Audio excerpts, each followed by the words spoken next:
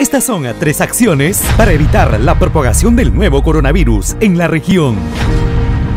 1. El gobierno regional de Lima y la sociedad civil unen esfuerzos para construir una planta de oxígeno en la ciudad de Huacho. Ricardo Chavarría mostró su predisposición para trabajar de la mano con la sociedad civil y construir la planta de oxígeno.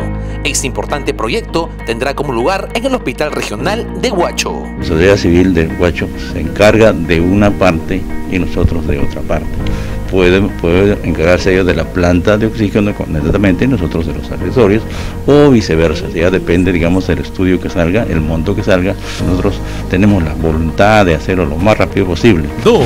El gobernador regional Ricardo Chavarría Oria hizo entrega de un nuevo lote de medicinas a la red de salud Cañete Llavios para el tratamiento de pacientes con la COVID-19. Como parte de las medidas enfocadas a reforzar la respuesta sanitaria en el marco del estado de emergencia, el gobierno regional de Lima entregó productos esenciales para el tratamiento de los pacientes afectados por el coronavirus. Apenas llegan a los almacenes de la red de salud Cañete y Audio, se han distribuido dentro de los 54 establecimientos que tenemos a nuestro cargo, distribuidos tanto en la provincia de Cañete como de Yauyos. Esto va a, servir para aliviar en alguna medida a los pacientes que están salido eh, COVID positivo. 3.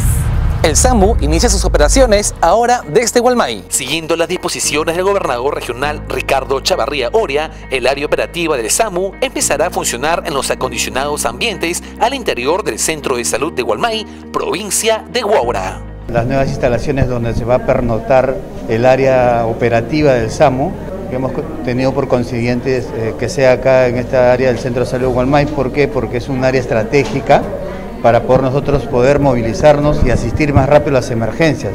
Estas acciones obedecen a una respuesta inmediata para velar la salud de la población. Tu salud es primero. Estas son tres acciones para evitar la propagación del nuevo coronavirus en la región.